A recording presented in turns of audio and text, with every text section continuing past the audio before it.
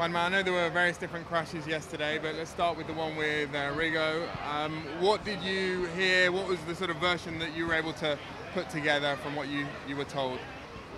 I mean, Rigo, obviously, Rigo, Hugh, and all the team was involved in a crash yesterday, all of them.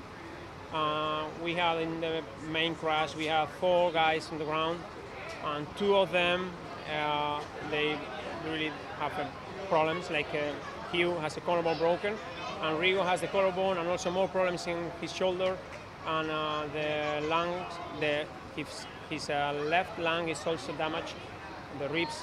So the problem is bigger than we thought, and at the moment it's in recovery at the hospital in Barcelona. And yeah, they are taking care of him. The team is supporting them. And we are trying to to wait like two more days to, to reanalyze the situation with, with them.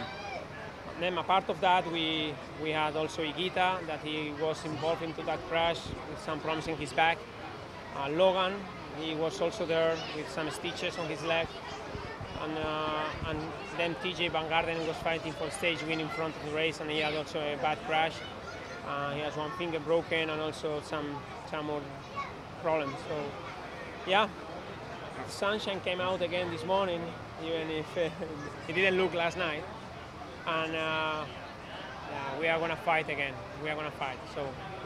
And I guess with TJ, who's starting today, it's a case of wait and see. You're going to see how he gets through the first 100 kilometers or so. Yeah, of course. TJ doesn't need to show nothing to anybody, so we know what he's able to do, and he is not here to learn. He is here to. He, he came to this race to do a good result, and, uh, and, and to do a nice work for the team too. But at the moment, uh, probably in the coming days, he's not going to be able to do it, but we will see. So he finished the stage yesterday. He's left good, but once he jump on the bike, we will see uh, where he what, where he can arrive and if he's going to be able or not to continue.